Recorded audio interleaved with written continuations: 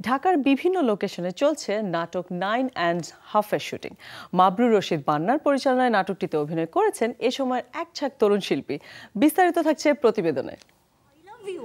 No way. I will kick your ass. Stupid idiot nonsense ইঁদুর দাঁত বেকা nine and half নয় বন্ধুর পথ চলা আর তাদের পরিবারের গল্প নিয়ে গড়ে উঠেছে এই নাটকের কাহিনী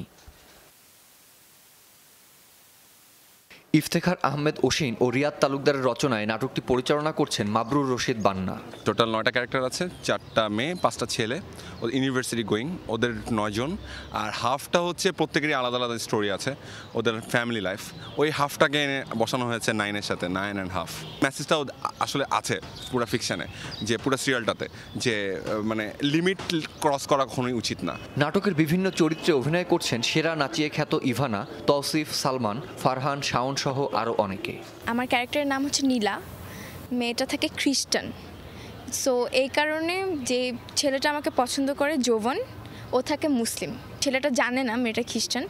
যখন জানতে পারে তখন রিয়্যাক্ট হয়, কিন্তু আমরা পরে দেখতে পারব যে ধর্মটা কোনো ফ্যাক্টর না? ক্যারেক্টারটা হচ্ছে আসলে একজন টিনেজার যে ইউনিভার্সিটিতে পড়ছে এবং তার সব কিছুর মধ্যে সে ফান খুঁজে।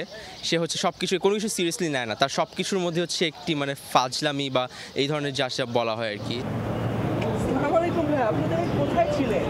আমার রিয়েল নাম ফারহান এই ক্যারেক্টারটা হ্যাঁ, এই নামেই ক্যারেক্টারটা প্লে করছি। এখানে আমার বাবা হচ্ছে অ্যালকোহলিক থাকে।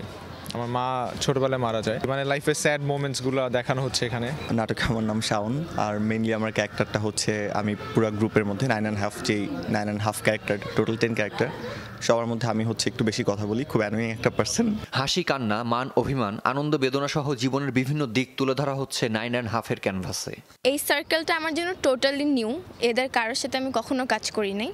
ফার্স্টের দিনে খুব ভালো একটা আন্ডারস্ট্যান্ডিং হয়ে গেছে যে কারণে আমাদের মেন্টালিটিটা মানে একদম ম্যাচ হয়ে গেছে।